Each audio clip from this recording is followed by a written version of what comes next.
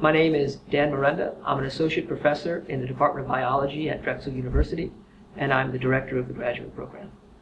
In my laboratory, we study two things. We study the developmental neurobiology of synapse formation, and we also model Alzheimer's disease. Uh, and we utilize the fruit fly Drosophila melanogaster for both of these. And because multiple genes involved in synapse formation are also involved in human disease, we wind up making Drosophila models of multiple human diseases as well. We utilize multiple different techniques to study these questions in my laboratory.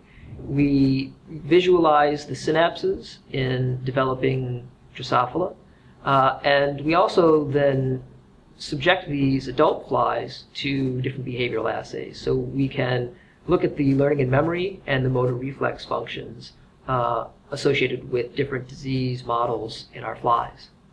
We have three main projects in the laboratory. First is studying uh, a novel function of a basic helix loop helix protein called daughterless in postmitotic neuron function.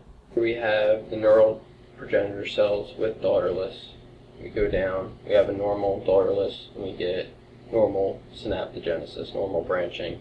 Uh, the second is based on a drug screen that we performed in a novel model of Alzheimer's disease in Drosophila, uh, hoping to find drugs that are potential therapeutics in the disease.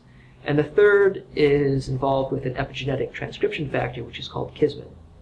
My name is Nina Lachva. I'm a second year graduate student from the Molecular Cell Biology and Genetics program in Dan's lab. In Dan's lab, I work on characterizing the interaction between Kismet and steroid hormone receptors.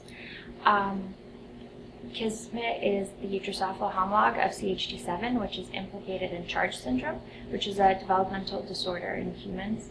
Um, I look at learning and memory defects and synaptic connections in the Drosophila nervous system.